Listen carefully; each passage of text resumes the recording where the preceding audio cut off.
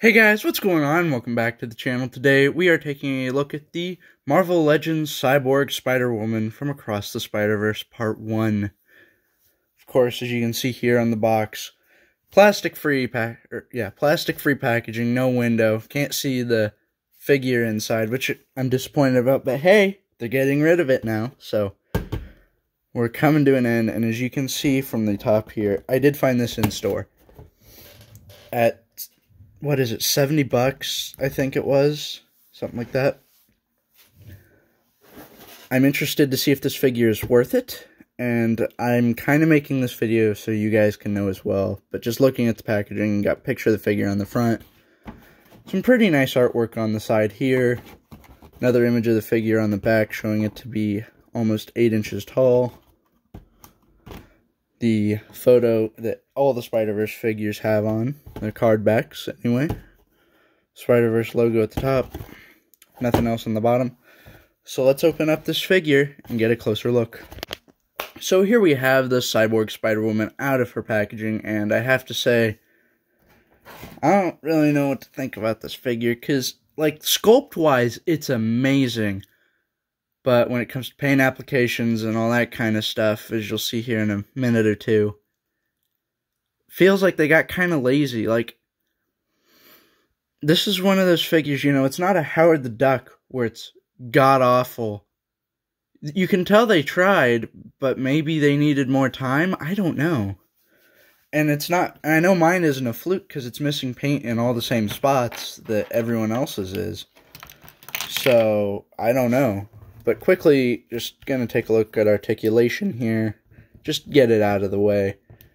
Spider Woman can look up about that. Oh, it's too close to the camera. Can look up about that high. Can look down about that far. Arm goes out to side like that. And the cannon doesn't really move out very far at all. The arm does have a bicep swivel. And it is kind of stiff, I have to admit. It's supposed to have a double jointed elbow, but I'm trying not to crush the spikes on her shoulder there. So if you see me struggling, that is why. So it bends about that far. It's pinless, which is nice. At 70 bucks, I expect pinless. This arm does a full rotation out back here, which out back. Does full 360 rotation. As this arm can, or no, it can't. Catches on the shoulder pad there. Again, goes out that far. It does actually turn here and at the bottom here, as you can see, but that's all the arm can do. I I kind of thought when I saw this here that this would be a joint, so you could just have some you know, barely have motion, but that way you still get some. No, it's, it's just solid plastic. Leg kicks up about yay high. Does have a good old thigh cut that can turn all the way around. But is kind of difficult because of this pouch on the side here. Which I... So it's on the cut, like the majority of it's on this side. So I feel like they could just made a little indentation there and then connected it up here so that way you can turn past the back here. Because if you're ever standing up, it just gets caught on the butt and can't turn any further. Same on this side as well, kicks up about yay high. Just the full 360 turn at the thigh cut. Double jointed knee but it is a little stiff. Same on this leg as well. Feet kick out about that far, kick up about that high. Again, for both legs, and both of them have ankle pivot. So, when I was talking about the paint job having issues, here's what I mean. It mainly is on the feet here. It's like you'll have the nice painted um, barbed wire, I guess, and then the paint just stops. Like it just abruptly stops somewhere, or it randomly starts, I don't know. They didn't paint up here. This leg is barely painted outside of the front. And even then, you have issues there. Foot's not painted very well. Like, it, it's all kinds of trouble. And then up here and on the back of the arm, like, they only painted the front of this is what I'm noticing. So it would look nice at certain angles. Because, like, no paint here, no paint here. Nothing there. Nothing on the... Oh, shit. Nothing here, right? My camera, just... My phone won't focus. Yeah, nothing up there, which is really sad to see. Nothing here, but if you get to the front, it's all painted and looking pretty. So I, I would love to know what the hell happened there, because that really makes me mad that you're charging 70 bucks for an okay figure, but then it brings it down when you don't paint it properly. Uh, let me just quickly pop off the head so we can get a nice look at the head sculpt, because this is probably the best part of it. You know, you get the nice, I don't know, I think like Mad Max with the mask here. It's kind of a gas mask kind of thing. You got the robotic eye, which does look nice, and then the again, it just looks like um, I can't think of the word for it. For like what you would call this eye, but looks armored, and like it still stands out as Spider Man. I could look at this head, and I would still think semi Spider Man. You know, still it can. My point is, it can pull off the look. So if I just pop it back on here, of course the spider emblem itself is made of a chain that wraps all the way around the figure and actually covers up the spider logo on her back, but you can see that it is there.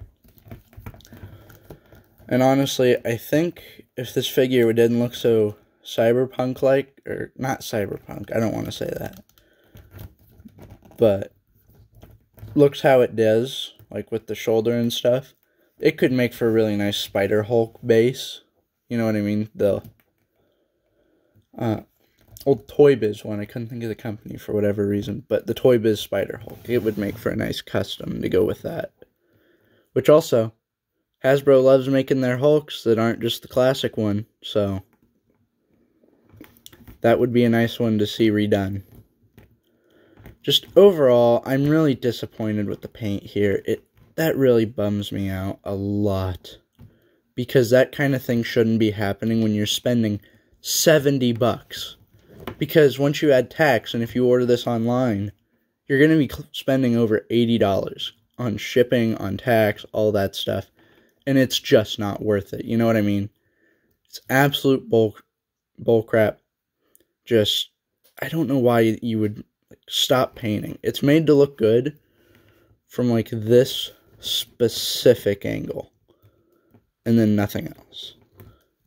At least that's what it seems like to me. And I know maybe you're thinking mm, the movie also hasn't come out yet. It's it's May, so maybe it's not out till what mid June. So we have all that problem, and it just it just bugs me so much that they went like they put so much effort into the sculpt. Oh yeah, I about forgot. There's a diaphragm joint in here that allows for full three six day turn like so. Yeah, I I don't know.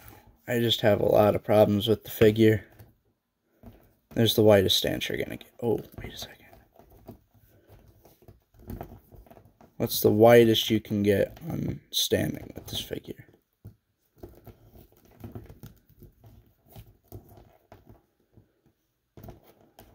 Right there. That is the widest you can get. So that's pretty nice, actually. Again, sculpt is amazing on this figure. It is, if they put this level of sculpt into all of their figures, we would have nothing but the best toy line, especially at their prices. Like, it would make $25 worth it every time. But they don't. They put they don't put that much into it every time.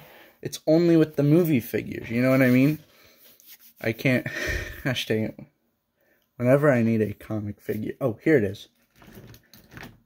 I had the Cyborg Spider-Man so we could do a height comparison. But I'm just going to pull him here. Like, could you imagine on this figure if they put the kind of sculpting work they did on this one in? You know how nice that would be? And while we're at it here, you can see the height difference. It's pretty big. Let me just fully get her in the frame. Like so. Put him right next to her. There we are. It's looking pretty nice. And I have to say, this figure could have made like my top 15 Marvel Legends, and you know, maybe it'll grow on me. Maybe I'll really love the character or something and it makes the list. But with the paint problems, I just don't think it could. And again, I don't know if I'll do top 15. It's definitely not the worst because the sculpt is so amazing, but it's also not the best. I don't know. It's it's very mid figure, I guess. I, I don't know how else to really describe it, but let's quickly get through the height and stuff. I'm already rambling for 10 minutes here, and I don't want to run this too long for you guys, so. Alright, so Cyborg Spider Woman coming in at her tallest possible height is actually like 8 inches tall. So, or at least using my tape measure, it's 8 inches tall instead of 7.9 which is nice to see. Um, getting Spider Woman next to Miles. Here we have like that, and then Peter B, which I just got done taking as a thumbnail for that video, which you should go check out. Same with Miles and the Spot. Let just get him stood up like so. There he is. There's some nice height comparisons. As you can see, she towers on the shelf. The nice thing I can say about this figure is it will stand out on a shelf. If you just have a bunch of Spider-Man, it's going to stand out for how big and how different it looks, which is really, really nice. And then, of course, we have the spot, and I feel like I can put him in front because it's it's still staggering on how tall she is compared to the rest of them. So, with all that being said, I will also do, because I just realized I have her sitting nearby, the Comic Gwen Stacy from the Into the Spider-Verse 2 pack that they did back in 2018. Again, really towers. This is more of a comic one now. So with all that being said, thank you for watching. Please, please do hit the like and subscribe buttons. We are almost at 100 subscribers, and I cannot wait to reach that goal. So if you would hit the button, I will be forever grateful, and I will catch you in the next one. Peace.